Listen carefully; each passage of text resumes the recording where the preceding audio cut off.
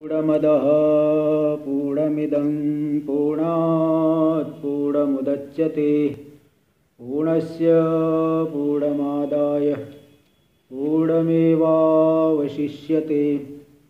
ॐ शान्ति शान्ति शान्तिः।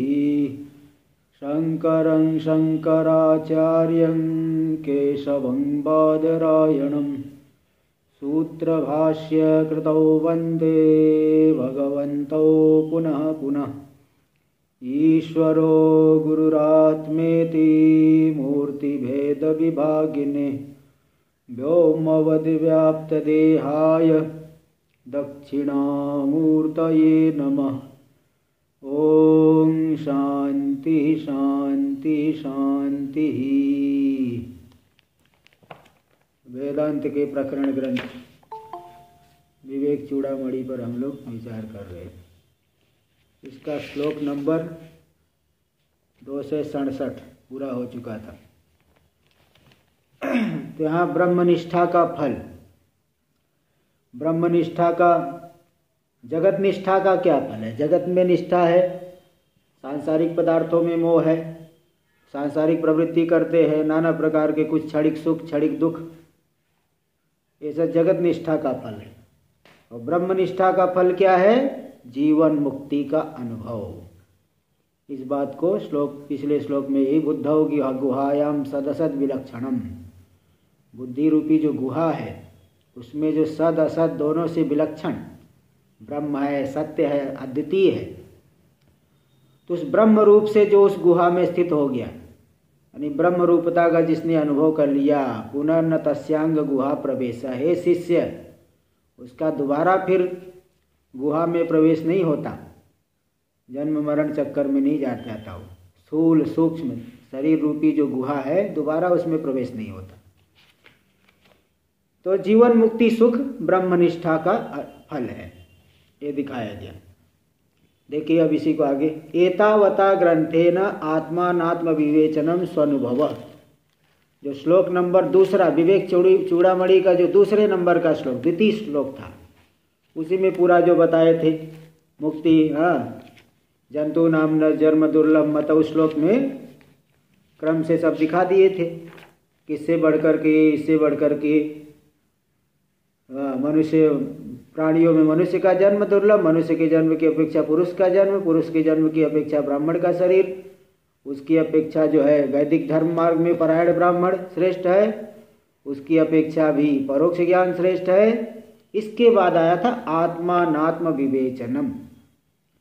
आत्मा और अनात्मा का विवेक। विवेक होगा तभी भी विरक्ति होगी। और बिना वैराग्य के स्वरूप का अनुभव हो नहीं सकता। इसलिए आत्मा अनात्मा का विवेचन ये और दुर्लभ है। इसके अनंतर स्वानुभव सुष्ठु अनुभव, अपरोक्ष ज्ञान। यही है चौथी अवस्था।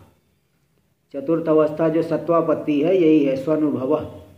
सुष्ठु अनुभव, अच्छी तरह से अनुभव, सु अनुभव, अच्छी तरह से अनुभव। अच्छी तरह मतलब अपरोक्ष रूप से।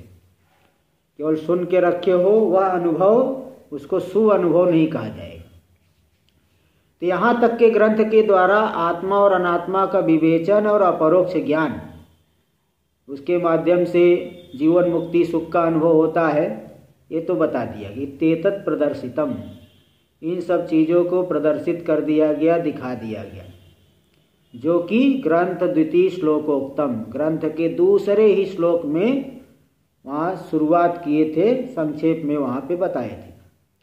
अब उसके बाद स्वानुभवम के बाद अब उस द्वितीय श्लोक में देखेंगे तो आता है ब्रह्मात्मना संस्थिति ही। अपरोक्ष ज्ञान हो करके उपाधि से अपने आप को अलग करके ब्रह्म रूप से स्थित हो गया। तो ब्रह्मात्मना संस्थिति आगे बताया गया है। ब्रह्मात्मना संस्थिति मुक्ति। यही है मुक्ति। नहीं तो कहेंगे मुक्ति क्या है? मुक्ति है ब्रह्म रूप से स्थित हो जाना। वही मुक्ति है। इति इमम अर्थम सूत्रितम। इसी अर्थ को सूत्रित किया गया। सूत्र रूप से वहाँ तो केवल शब्द से बता दिए थे। फिर यहाँ सूत्रण कर दिया गया। यहाँ भी संक्षेप से बताए। उसका विशद तुम स्पष्ट रूप से उसको स्पष्ट करने के लिए और अच्छी तरह से विस्तार से बताने के लिए। उपक्रमते। आरंभ करे, ज्ञाते इति। तो यहाँ पे ब्रह्म रूप से स्थित हो जाएगा। किस प्रकार से वह?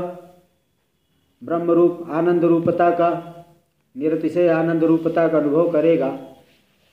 उस सुख की प्राप्ति का प्रकार दिखा रहे श्लोक नंबर 268 पेज नंबर 160 देखिए। मंदा क्रांता छंद है। चार अक्षर, छह अक्षर, फिर इसके बाद सात अक्षर बोलना। चार, छह, सात। इस तरह से बोलना रहता है। पहले चार अक्षर, फिर छह अक्षर, फिर सात अक्षर। ज्ञाते वस्तुन्यपि बलवती वासनानादिरेशा।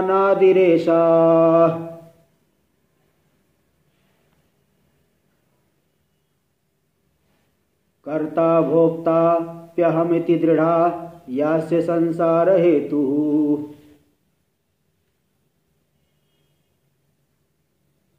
प्रत्यक दृष्टियात मनि निवसता सापनेया प्रयत्नात्।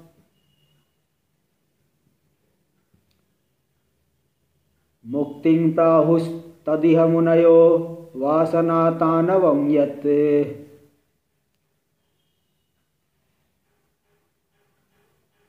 देखिए, ज्ञाते वस्तुनि। वस्तु एक ही तो वस्तु है संसार में। वस्तु यानी कोई जड़ पदार्थ नहीं लेना, क्योंकि वो वस्तु नहीं होकर के वस्तुआभास है, पूर्व में बताया जा चुका है। वस्तु तो एक ही परमात्मा ही है। उस परमात्मा वस्तु को वस्तु क्यों बोलते हैं? क्योंकि वसति सर्वत्र इति वस्तु, जो सभी जगह निवास करता है, इसलिए वस्तु हो गया। सब जगह रहता है। तो ज्ञाते वस्तु नहीं, उस वस्तु परमात्मा के जान लेने पर।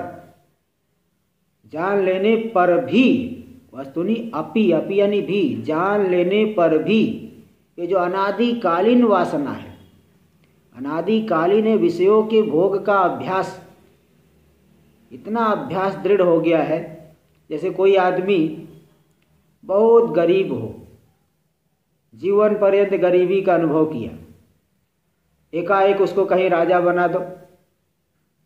तो उसको तो विश्वास ही नहीं होता है कि मैं राजा हो गया हूँ। भरोसा बोले, हो सकता है ये लोग मज़ाक कर रहे हो।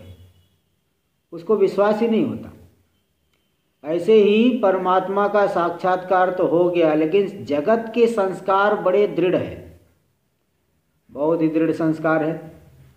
इसलिए वो जो वासना, जो बलवती वासना, अनादि रेसा ये जो अनादि कालीना बलवती वासना है, संस्कार, मैं मनुष्य हूँ, मैं जीव हूँ, मैं ये हूँ। ठीक है? इस तरह से अपने आप को जीव मानकर मानता है, संसारी मानता है, बद्ध मानता है। विषयों में ही मन जो है जाते रहता है। कि अनादि कालीनी कालीनी, कालीना जो वासना है उससे आपको वह कर्ता भोक्ताप्यहम। मैं कर्ता भोक्ता भी हूँ, कर्ता भोक्ता हूँ। इति दृढ़ा, ऐसी एकदम दृढ़ वासना है। इस दृढ़ वासना से जो है व्यक्ति का मन फिर विषयों में जाते रहता है। इसलिए बारंबार निधिध्यासन करना पड़ता है। जो विपरीत भावना इतनी दृढ़ है कि तत्व को जान लिया तो भी विपरीत भावना जो है विषयों में मन को ले जाएगी। मैं मनुष्य हूँ ऐसा जो है मानने को मजबूर कर देती है। तो देखो, ये जो दृढ़ भावना है, अनादिकालीनी वासना यही संस्कार है मैं करता हूँ, मैं भोगता हूँ। या अस्य संसार हेतु, जो इस जीव का संसरण का हेतु है। इसी वासना की वजह से बारंबार जो है, नाना योनियों में भटकते रहता है। यंग यंग वापी स्मरण भावम त्यजत्यंते कलेवरम तंग तमे वैति कौंतेय सदा तद्भाव भावित देखो, गीता में भी भगवान यम यम वापी स्मरण भावम। अरे भाई, जीवन पर्यंत जिस चीज़ का आप अभ्यास किए हो मरण काल में वही तो अनुभव आएगा। कोई सोचे कि हम जीवन पर्यंत भले विषय सेवन किए, मरण काल में भगवान का स्मरण करेंगे। एक बिल्कुल असंभव बात है। जीवन पर्यंत जो चिंतन किया, जिसका अभ्यास ज़्यादा है, वही जो है स्मरण मरण काल में आता है। और मरण काल में जिस चीज़ का स्मरण करते हुए शरीर छोड़ेगा। तृण जलायु का न्याय प्रसिद्ध है।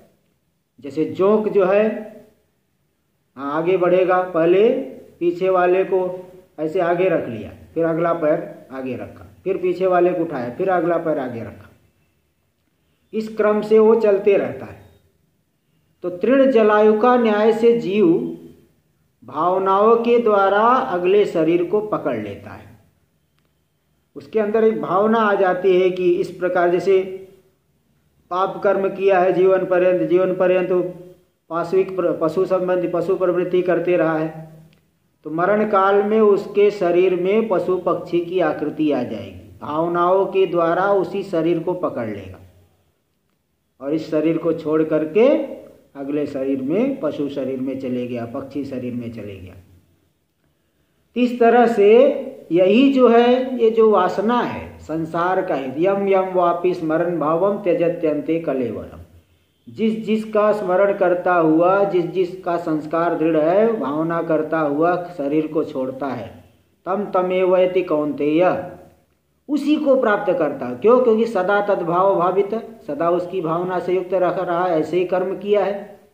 इसलिए जो वासना है, एक बार तत्व को जान लिया तो भी वह जो है, अनादिकालीना वासना चित्त को विषयों में ले जाएगी। मैं करता हूँ, मैं भोगता हूँ, ऐसा मानने को मजबूर कर देती है।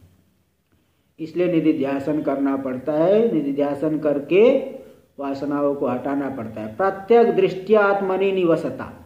तो इसलिए बारंबार प्रत्येक दृष्टि करके, प्रत्येक जो है सर्वांतर आत्मा, है ना, वो प्रत्येक दृष्टि के करके, यानी बहिर्मुखता को छोड़ करके, अंतर्मुखता को बढ़ाते हुए प्रत्येक दृष्टि के द्वारा आत्मनि निवसता, सदा जो है विषयों से मन को हटा करके आत्मा में निवास करने वाला जो पुरुष है तो उसका निवास करते हुए सापनेया उस वासना को नष्ट कर देना चाहिए, अपनयन कर देना चाहिए प्रयत्नात् बहुत प्रयत्न करके उस वासना को मिटा देना चाहिए। तेजो वासना तानवम, यद वासना तानवम, मुनयो तदिह मुक्तिम प्राहु। तो मुनि लोग उसी को मुक्ति कहते हैं। जो वासना तनु हो गई, सूक्ष्म हो गई, नष्ट हो गई नष्ट प्राय हो गई। कोई चीज़ जो है, एकदम जरा सा बच गया। तो बोलते, देखो, ये तो मरा, ये तो मरा हुआ ही समझो, समाप्त ही समझो, नष्ट प्राय। तो ये जो वासना तनुता को प्राप्त हो गई, बड़ी सूक्ष्म हो गई, नष्ट होने के कगार पे आ गई। इतना जो है आत्मचिंतन निधिध्यासन किया। तो मुनि लोग जो है, मननशील लोग, इसी को कहते हैं मुक्ति, यही है मुक्ति। कि संसार की वासना सुख तनु हो गई। नहीं तो वासना अगर तनु नहीं होगी तो जीवन मुक्ति का अनुभव नहीं कर पाएगा। जीवन मुक्ति नहीं जो है, अनुभव नहीं कर सकता। देखिए वस्तुनि आत्मनि ज्ञाते भी। वस्तु यानी आत्मा, उसको जान लेने पर भी, टीका में चल रही। ज्ञाते भी, पंचकोश विलक्षणतया ब्रह्मा भिन्नतया च, शास्त्रतः युक्तित ज्ञाते भी। पाँचों कोशों से विलक्षण है आत्मा।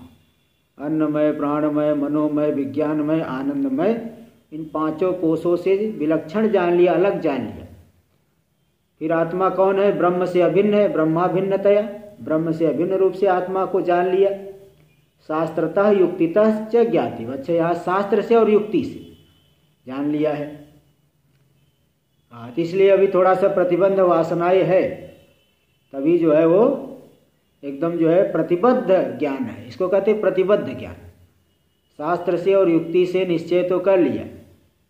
किंतु वासना जो है प्रतिबंध पड़ रहा है। तो या वासना से संसार हेतु तो जो वासना वस्तु को तात्मा को जान लेने पर भी जो वासना इस पुरुष के, साधक के संसरण का हेतु है। कर्तृत्व, भोक्तृत्व आदि रूप संसार कारण। संसार क्या है? कर्तृत्व, भोक्तृत्व। मैं करने वाला हूँ, मुझे भो, मैं भोगता हूँ। मैं इस क्रिया को करूँगा, इसका मुझे फल मिलेगा, मैं सुखी होऊँगा, मैं दुखी होऊँगा। यही जो है संसार है, इसका कारण है वासना। तो हम करता भोगता भी मैं करता हूँ भोगता भी हूँ। इस तरह से जो भावना है, वासना है, ये दृढ़ा बहुत दृढ़ है। है ना, मैं करने वाला नहीं हूँ, ऐसा जो है जल्दी नहीं समझ पाता। मैं निष्काम, निष्कर्मा हूँ, निष्क्रिय हूँ। ऐसा नहीं जान पाता। तो दुरुच्छेद बहुत दृढ़ है मतलब इसका उच्छेद करना बड़ा कठिन है। अनादि, यानी बहुकालाद अनुवृत्ता। अनादि काल से वो चली आ रही अनुवृत्त हो रही। ऐसा वासना बलवती, यह वासना बहुत बलवान है भाई। क्योंकि देखिए, क्यों बलवान है? सम्यक प्रबुद्धोपी। हाँ स्वप्ना इत्य, स्वप्ने, अत्यंतम स्वप्ना प्रबुद्धोपि स्वप्ना अत्यंतम भीतर कंचित कालम। स्वप्न, एक मिनट। एकदम स्पष्ट है कि देखिए, जैसे स्वप्न में देखा, स्वप्न में कोई बहुत डरावना दृश्य देखा। स्वप्न में ऐसा कोई भूत आदि देखा, कोई बहुत बड़ा पिशाच आदि देखा, बहुत डरावना दृश्य देखा तो स्वप्न में अत्यंत डर गया। तो डर गया तो सम्यक प्रबुद्धो भी स्वप्न से जाग गया। तो सम्यक प्रबुद्धो भी स्वप्न स्वप्ने अत्यंतम भीतर। स्वप्न में जो अत्यंत डरा हुआ है, स्वप्ने के बाद थोड़ा एक खंडा कार लगा लीजिए तो जरा जो है आपको मालूम पड़े।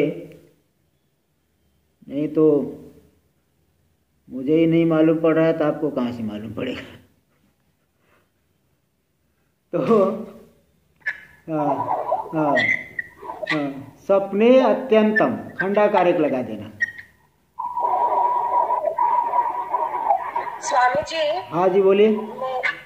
मेरी एक किताब में यहाँ लिखा है अपने या अपने या प्रयत्न प्रयत्न। प्रयत्न अपन वो तो श्लोक में आया ना सापनेया प्रयत्नात्। हाँ। तो श्लोक में तो है ना सापने सापनेया प्रयत्नात्।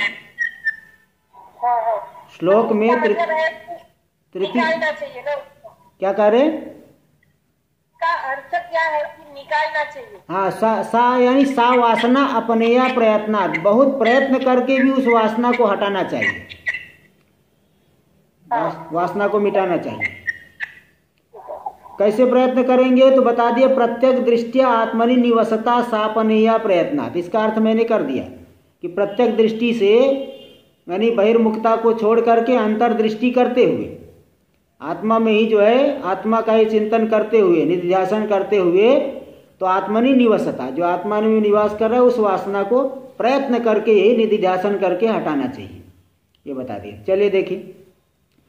तो ये जो वासना बहुत बलवती है, इसमें दृष्टांत दे रहे हैं कि सम्यक प्रबुद्धोपि स्वप्ने।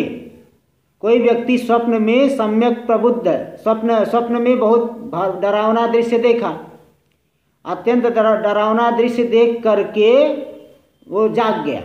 बहुत घबरा करके जाग गया। तो सम्यक प्रबुद्धोपि स्वप्ने अत्यंतम भीतर सम्यक जग गया है तो भी स्वप्न में जो अत्यंत भयभीत हो गया था, कंचित कालम निराकृत कुलित अंतकरणम न अंतकरणो न भवते। तो थोड़े समय तक निराकुलित अंतकरण वाला नहीं, व्याकुलता से रहित अंकल अंतकरण वाला नहीं होता। तो देखो ये वासना बता रहे। जैसे आपने स्वप्न में बहुत डरावना दृश्य देखा और दृश्य देख करके, घबरा करके जाग गए तो थोड़े समय तक भयभीत रहता है। तो उसका देखिए, उसके संस्कार की अनुवृत्ति थोड़े समय तक रहती है।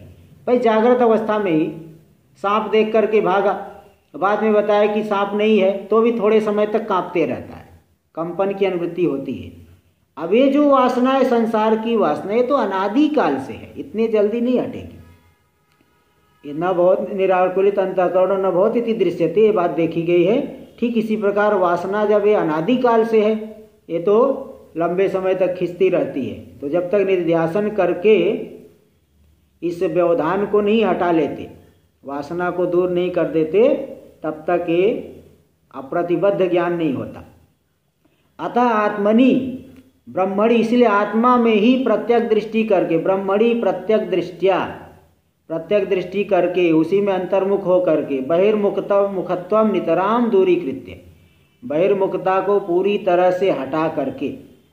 अंतर्मुखतया, अंतर्मुख होकर के निर्विकल्पक समाधि ना, निर्विकल्पक समाधि। कोई जो विकल्प नहीं, कोई सांसारिक विकल्प नहीं जिसमें। उस समाधि के द्वारा उस वासना को हटा देना चाहिए।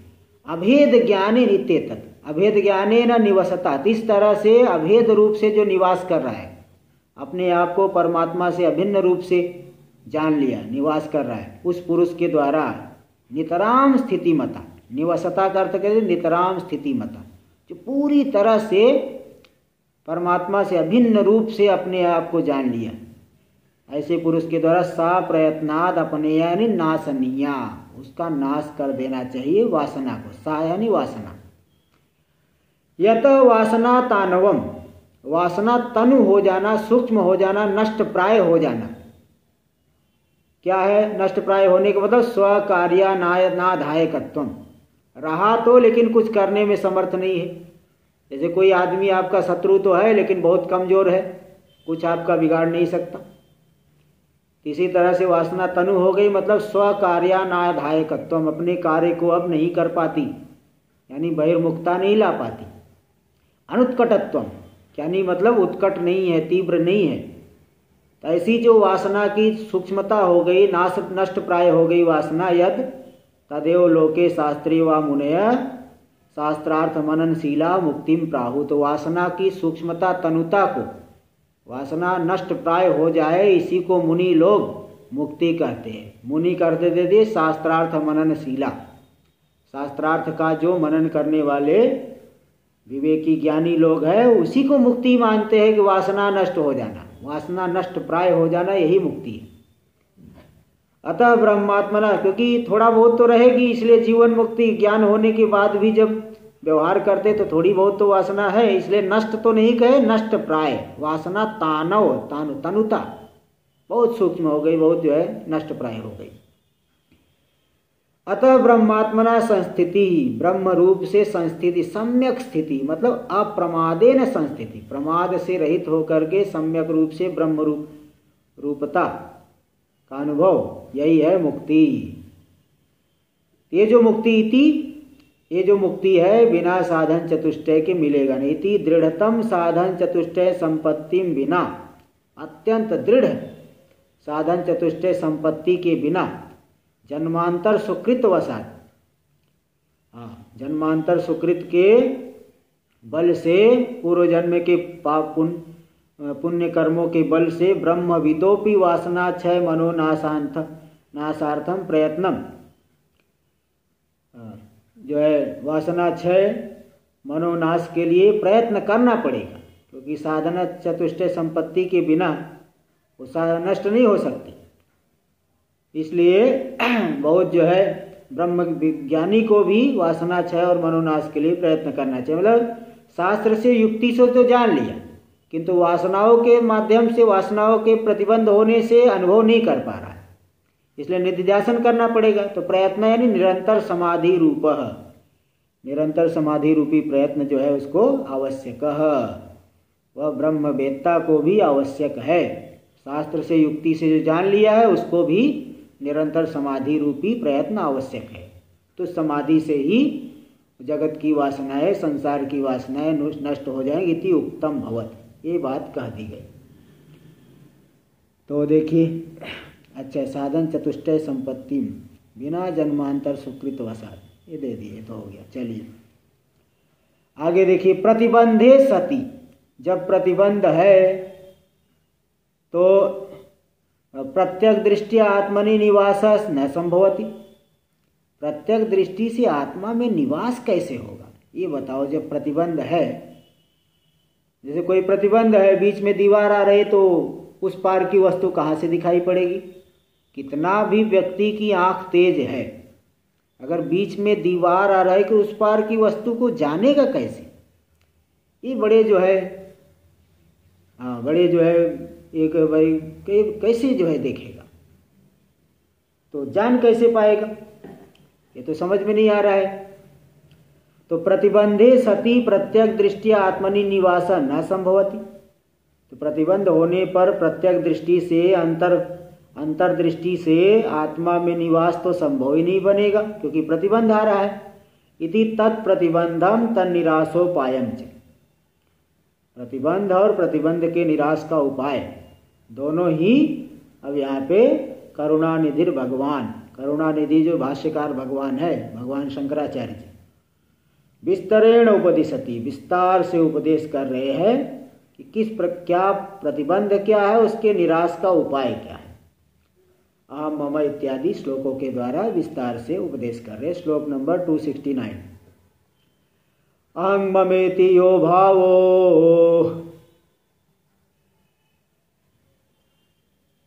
देहाक्षादावनात्मनि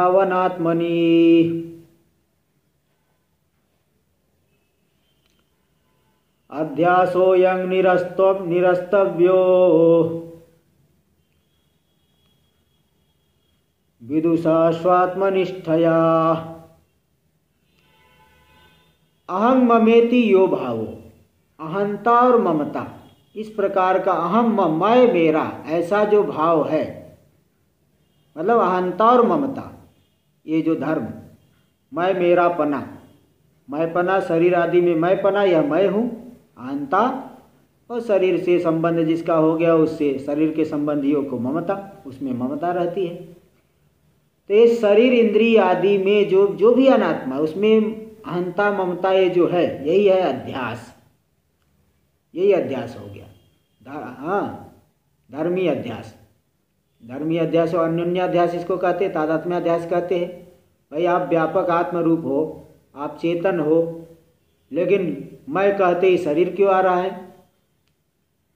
आप जब बता दिया गया शास्त्र के आधार पे, युक्तियों से भी बता दिया गया कि आप व्यापक आत्मा हो, चेतन हो पूरे जगत के दृष्टा हो, जगत दृश्य है, मिथ्या है। जो भी दृश्य है, सब मिथ्या है। फिर मैं कहते ही शरीर का ध्यान क्यों आ रहा है? ये बताइए। तो यही है अध्यास।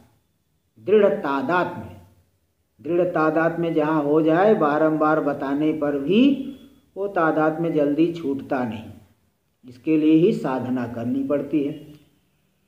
ते जो शरीर देह अक्षादि, देह यानी शरीर, अक्ष यानी इंद्रिया। तो शरीर, इंद्रिय आदि जो अनात्मा है, जो कि जड़ है, इन सभी जड़ पदारों, पदार्थों में अहंता, ममता रूपी जो अध्यास है तो अध्यासो यम निरस्तव्यो इस अध्यास का निराश करना पड़ेगा, निराकरण करना पड़ेगा, उसको दूर करना पड़ेगा। कैसे दूर करे भाई?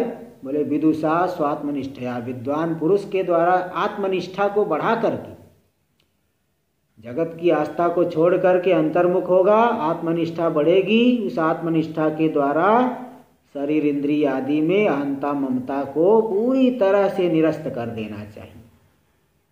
क्योंकि जब तक अनात्मनिष्ठ है, तब तक हर जगह दुखी होता है। और हर जगह दुखी होते रहेगा। यह लोग भी गया, पर लोग जैसे कोई आदमी है, किसी ने पाप किया। तो पहली बात तो सजा मिलेगी, दूसरी बात अपकीर्ति भी होती है। ऐसे यहाँ पे शरीर, इंद्रिय आदि अनात्म पदार्थों में आत्मा विनिवेश करके ही नाना प्रकार की सांसारिक प्रवृत्तियों को करता है। जो प्रवृत्तियाँ उसके दुख बढ़ाने का ही हेतु है। हर जगह दुखी होते रहे, इस लोक में भी दुखी है, पर लोग जाएगा, वहाँ भी दुखी रहेगा। इसलिए भाई विवेचन तो ज़रूरी रहता है। विवेचन करके वैराग्य प्राप्त करे, और फिर वैराग्य के बाद श्रवण आदि करके, आत्मनिष्ठा को बढ़ा करके, इस अध्यास का पूरी तरह से निराकरण कर दे। तांता ममता ये बंधन है, उसके निराश का उपाय है आत्मनिष्ठा। एकदम देखिए, इस छोट, छोटे श्लोक में ही बता दिए। टीका में, अनात्मनी देहाक्षादव अनात्मा जो शरीर इंद्रिय, अक्षाणी इंद्रियाणी। देह तो कि देह का मतलब शरीर है, अक्षाणी इंद्रिय। आदिपदे न आदिपद से लेना प्राण मनो। मनो मन है, प्राण मनो बुद्धि आदि। बुद्धि आदि, प्राण मन बुद्धि आदि। तत्र अहम मम इति यो भाव। उन सभी में ये जो अहम मम ये भाव है, अहंता, ममता इत्यादि जो भाव है, किसी यो भाव का अर्थ अहंता, ममता। जैसे मनुष्य में रहने वाला भाव क्या है? मनुष्यत्व अहम सम, अहम रूपी जो भाव मतलब अहंता, ममता। अयम अध्यास, यही है अध्यास, इत्यर्थ अयम अध्याय यही है अध्यास। इनके साथ तादात में हो गया। मैं कहते शरीर आदि का ही ध्यान आ रहा था यही तो अध्यास है। भाई, आप चेतन हो तो जड़ को मैं करके क्यों ग्रहण कर रहे अयम अध्यास विदुषा। पाठ जो है ठीक सुधर लिख लेना। कुछ दो अक्षर छूटे हुए हैं। अयम अध्यास विदुषा। विदुषा यानी श्रवण मनन मननवता। यह जो अध्यास है, विद्वान को हटाना चाहिए। विद्वान में किसे विद्वान कहोगे? सांसारिक पदार्थों को बहुत जानने वाले को विद्वान कहो क्या? यहाँ का विद्वान है श्रवण मनन वाला। जो श्रवण करता है, मनन करता है, वही विद्वान है। भले व्याकरण आदि न पढ़ा हो तो भी श्रवण मनन करने वाला विद्वान है। अब ये सब व्याकरण न्याय आदि पढ़ने से थोड़ा सा और सहायता मिल जाती है, जल्दी काम हो जाता है। लेकिन बराबर जो शास्त्र आदि श्रवण करता है, मनन करता है, समझ लो, विद्वान वही है। तो ऐसे जो श्रवण मनन वता पुरुष श्रेष्ठ है न, पुरुषों में जो श्रेष्ठ है, विद्वान है विद्वान है, पुरुषों में श्रेष्ठ है। वो स्वात्मनिष्ठया, स्वात्मनि ब्रह्मणी नितराम स्थिति रूप निधिध्यासन। ये देखिए, नितराम, पूरी तरह से स्थिति रूपी जो निधिध्यासन, उस निधिध्यासन के द्वारा अहंता ममता को मार देना चाहिए निरस्तव्य निराश कर देना चाहिए, यानी समूल घातम हंतव्य। पूरी तरह से नष्ट कर देना चाहिए, समूल घात कर देना चाहिए। मूल के सहित, अज्ञान के सहित उसको हटा देना चाहिए। तो प्रतिबंध हो गया अहंता ममता। और निराश का उपाय है आत्मनिष्ठा, निधिध्यासन। ये बता दिए उसका प्रकार क्या है? निधिध्यासन का क्या प्रकार है? इसको श्लोक नंबर टू सेवेंटी तत्प्रकार उपदिशति निधि निधिध्यासन के प्रकार को दिखा रहे ज्ञातवा ज्ञात स्वं प्रत्यगात्मान।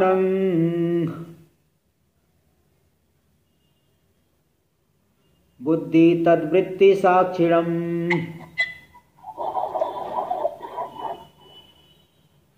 सोहमित्येव सद्वृत्त्या।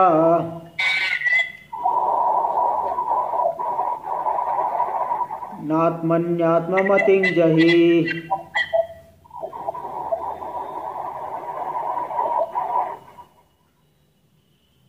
हाँ, देखिए ज्ञातवा स्वयं प्रत्यगात्मा। चलिए देखिए। ज्ञातवा स्वयं प्रत्यगात्मा जो हमारा ही स्वरूप है प्रत्येगात्मा है। हाँ, बुद्धि तद्वृत्ति साक्षिण तो प्रत्येगात्मा ज्ञान स्वरूप है, बुद्धि और बुद्धि की वृत्तियों का, शरीर आदि का, सभी का जो साक्षी है, उस प्रत्येगात्मा को जो हमारा ही स्वरूप है, सर्वांतर प्रत्यक्ष आत्मा है, उसको जान करके, शास्त्र के द्वारा, युक्तियों के द्वारा, और फिर निधिध्यासन करके सोहम, वही मैं हूँ, इस तरह से जान करके, सदवृत्तिया, सदवृत्ति के द्वारा सद है ब्रह्म। उस ब्रह्म विषयक वृत्ति को कहेंगे सदवृत्ति, यानी अखंडाकार वृत्ति। उस सदवृत्ति के द्वारा अनात्मन्यात्म मतिम जही। अनात्मा में आत्मबुद्धि को छोड़ दो, परित्याग कर दो। हाँ तो इस तरह से तभी जो है अनात्मा में आत्मबुद्धि हटेगी। आत्मनिष्ठा के द्वारा ही जब जान लिया, अखंडाकार वृत्ति हो गई तो अनात्मा में आत्म उसके द्वारा अनात्मा में आत्ममति को परित्याग कर दो नष्ट नष्ट कर दो, जही यानी नष्ट कर दो। अंधातु से बनता है। देखिए स्वयं स्वयं को ही स्वयं स्वयं कौन है? बुद्धि तदवृत्ति साक्षिण। बुद्धि और बुद्धि की वृत्तियों का जो साक्षी है। प्रत्येक आत्मान जो कि प्रत्येक आत्मा है, उसको ज्ञातवा, जान करके। कैसे जानेंगे? सो हम वही मय हूँ। वही व्यापक तत्व मय हूँ। इस तरह से इति सदवृत्तिया इस, यही है सदवृत्ति, ये अखंडाकार वृत्ति। ब्रह्म विषयक वृत्ति। तो सदवृत्ति क्यों कहते? कालत्रय विवाधा योग्य वस्तु भेद ज्ञान। वृत्ति का तो नाश होगा। किंतु वृत्ति का जो विषय ब्रह्म है, अबाधित वस्तु है। वृत्ति वृत्ति भले नष्ट हो जाए, किंतु वृत्ति का विषय ब्रह्म बाधित नहीं होता है। कालत्रय भी बाधा योग्य वस्तु भेद ज्ञाने न तीनों कालों में जिसको बाध नहीं होता, ऐसा जो परमात्मा, उस बाध के अयोग्य परमात्मा के साथ अभेद ज्ञाने न अभेद ज्ञान के द्वारा तुम ये जो अध्यास है, उसको मिटा दो। अनात्मनि बुद्ध्यादव आत्ममतिम अहंताम जही यानी नाशय। अनात्मा जो बुद्धि आदि है उसमें आत्मबुद्धि को मिटा दो, यानी अहंता को जही नाशय मिटा दो। भ्रांति परंपरा हेतु त्याजने। भ्रांति परंपरा का हेतु जो अध्यास, उस अध्यास का त्याग करा करके। हेतु को हटा दिए तो भ्रांति भी हट जाती है। कारण को, तंतु को जला दिए तो पट भी जल जाएगा। वृक्ष की जड़ को काट दोगे तो वृक्ष धराशायी हो जाएगा, गिर जाएगा नीचे। ऐसे भ्रांति परंपरा का हेतु है अध्यास। उस अध्यास को त्याग करा करके भ्रांति भी हट जाए, भ्रांतिम त्याजती, भ्रांति का भी त्याग करवाते हैं। यहाँ भगवान भाष्यकार लोकेति। लोकानुवर्तनम त्यक्त्वा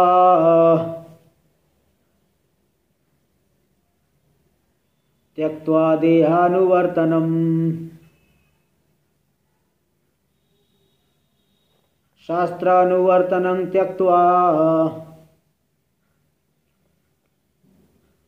स्वाध्यासापनयं कुरु। लोकानुवर्तनम त्यक्त्वा। लोकों का। अनुवर्तन छोड़ करके लोक का अनुवर्तन क्या है?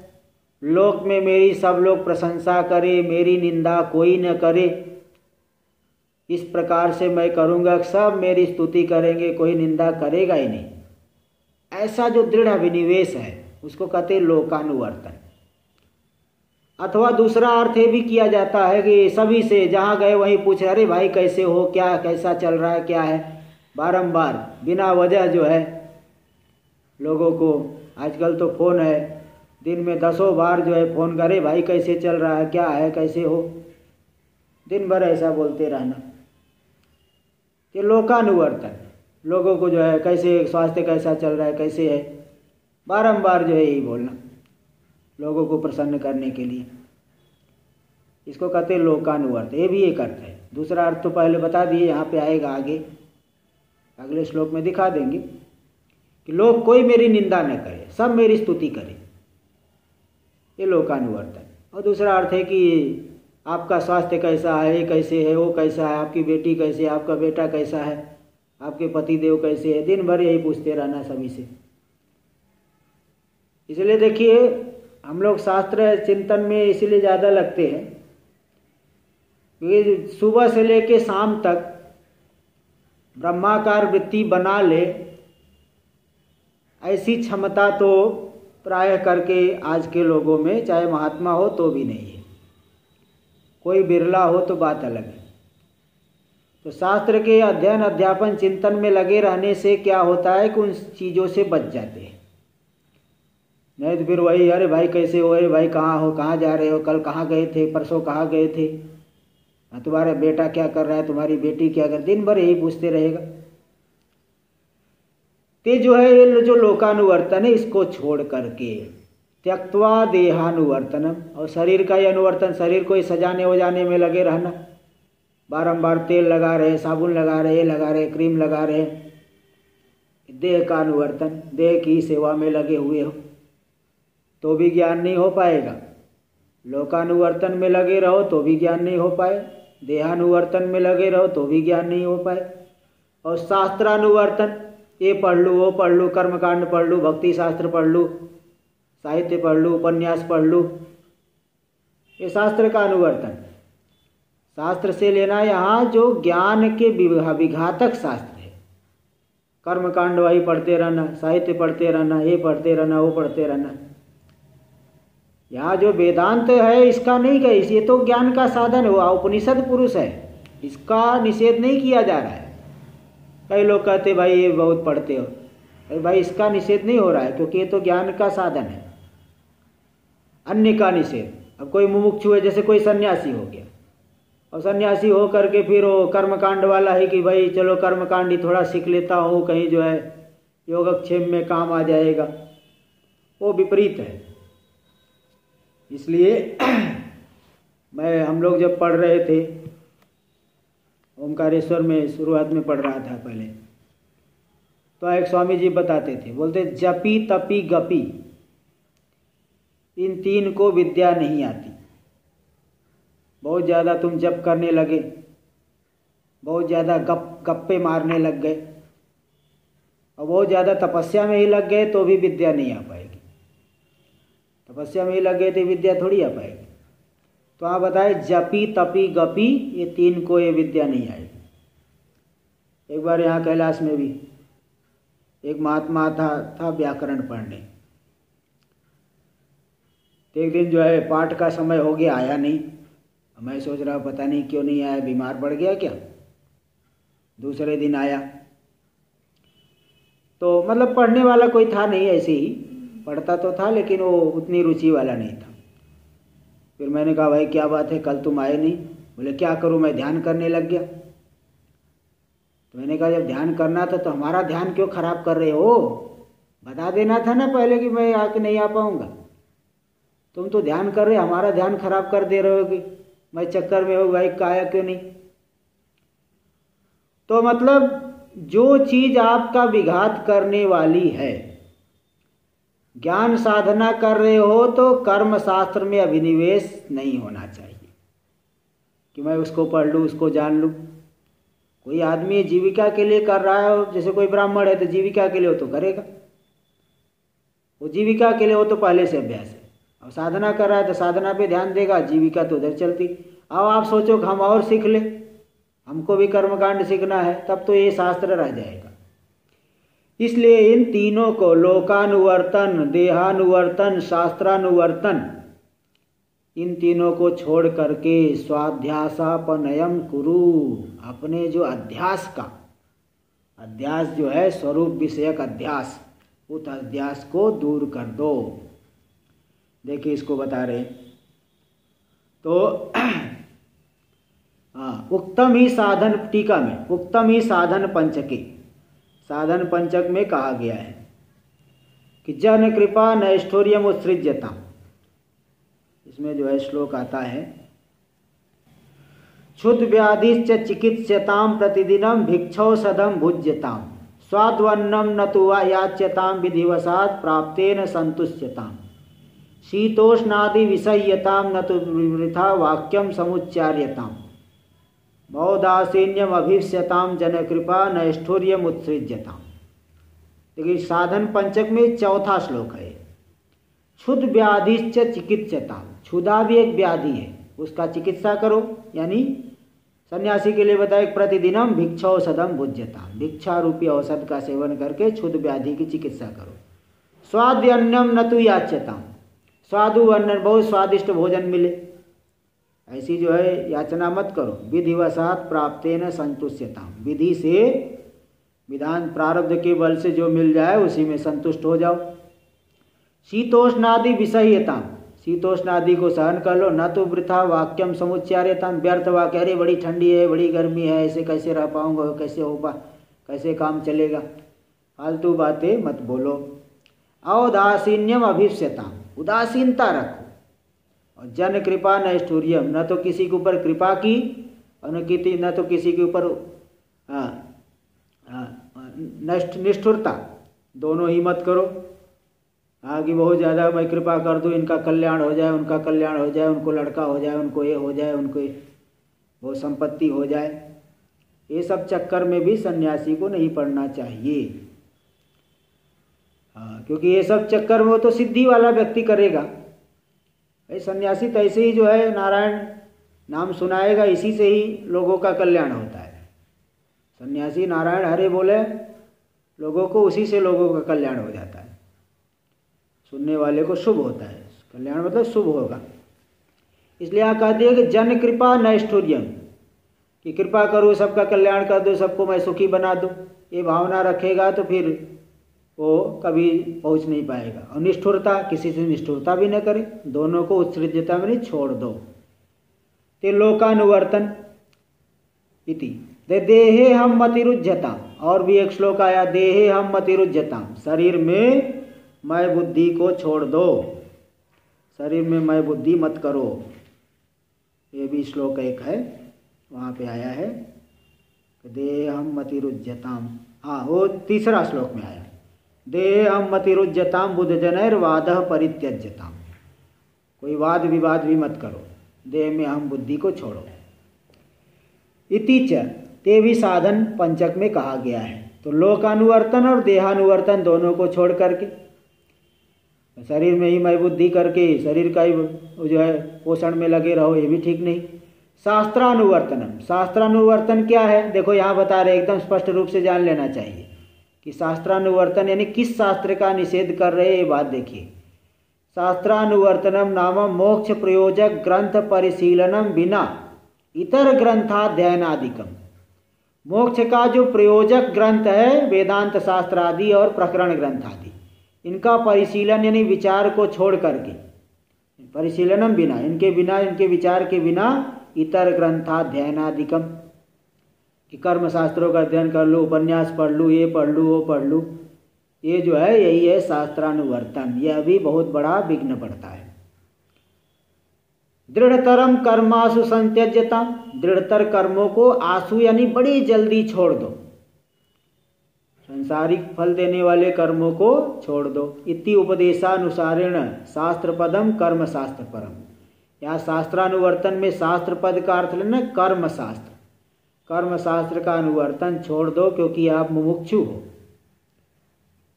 तो कर्म शास्त्र का अनुवर्तन नहीं करना चाहिए। तो तत्रयम त्यक्वा इन तीनों को छोड़ करके स्वाध्यासापनयम कुरु, अपने अध्यास को दूर करो, हटाओ। अहंता ममताम च नाशय, अहंता ममता को विनष्ट कर दो। अध्यास को हटा करके अहंता ममता को, भ्रांति को दूर करो, नष्ट करो। इस तरह से तीन जो है, वासनाएँ लोक वासना शास्त्र वासना देह वासना इससे जो भी बड़ा विघ्न पड़ता है, इसको छोड़ना पड़ता है। देखो, तत्कुत लोकानुवर्तन क्यों करता है? क्योंकि लोक वासना है देहानुवर्तन क्यों करता है? क्योंकि देह वासना है। शास्त्रानुवर्तन क्यों करता है? शास्त्र वासना है। जिसकी जैसी वासना है, उसका वैसा ही व्यवहार होता है। वासना के अनुसार व्यवहार का। इसलिए लोकानुवर्तन इत्यादि का कारण जो इन सब की वासनाएँ है, उनको पहले छोड़ो। इसलिए तत्कुत इत्यता लोक वासना आई थी। टीका में देखिए। लोक वासनया जंतो हो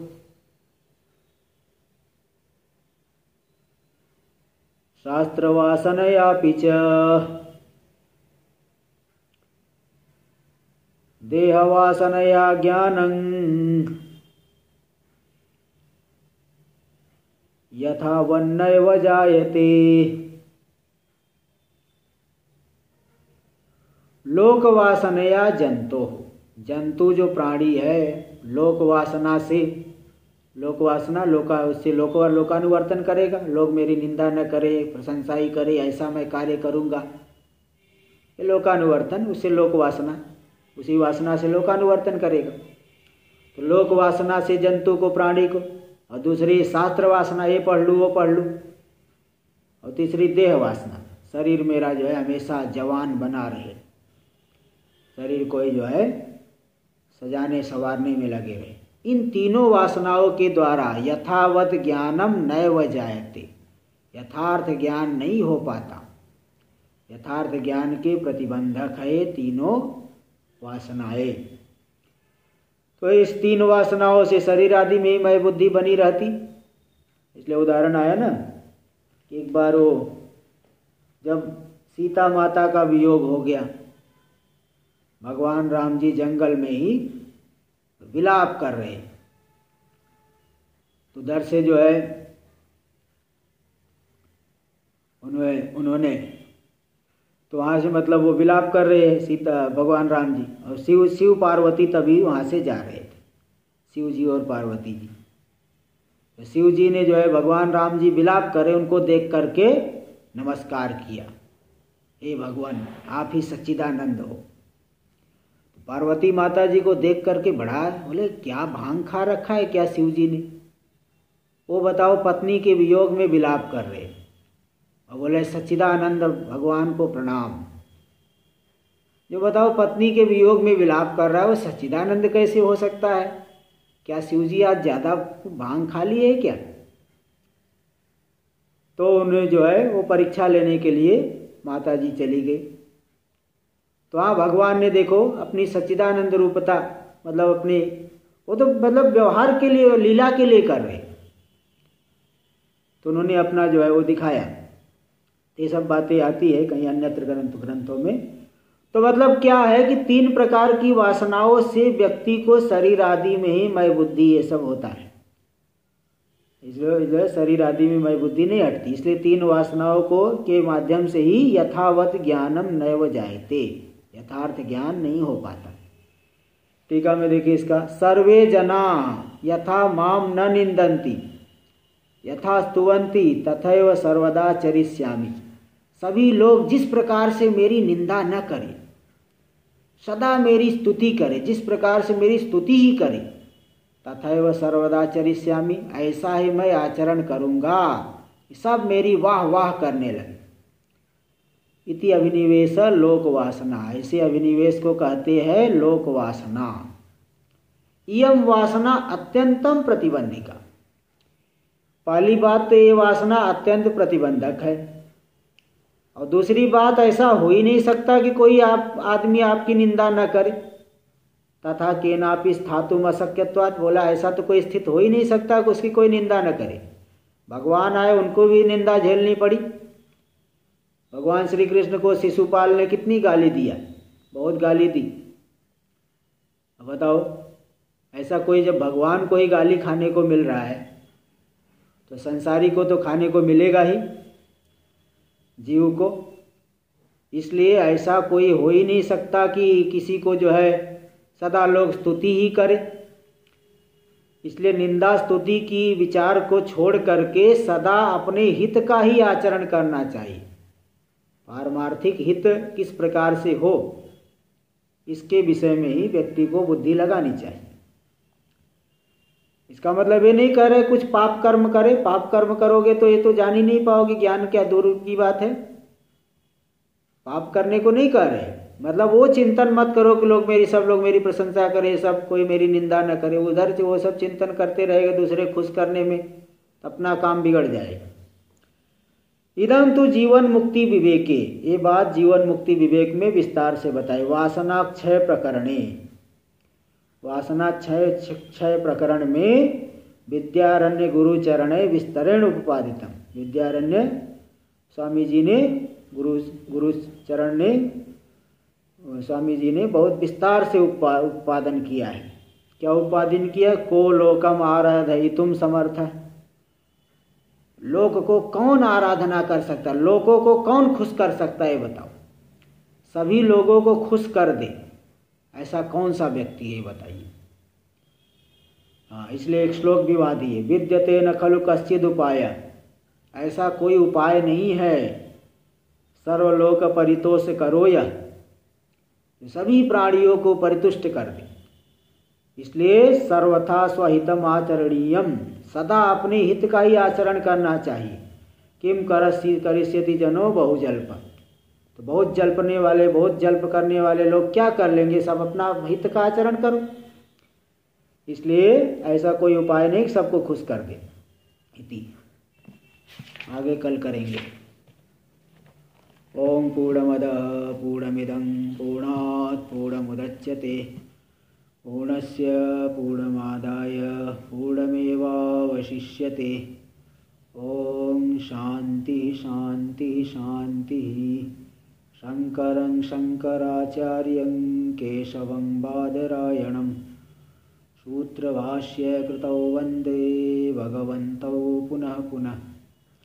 ईश्वरो गुरुरात्मेति मूर्तिभेदविभागिने व्योमवद्व्याप्तदेहाय दक्षिणामूर्तये नमः। ॐ शान्ति शान्ति शान्तिः।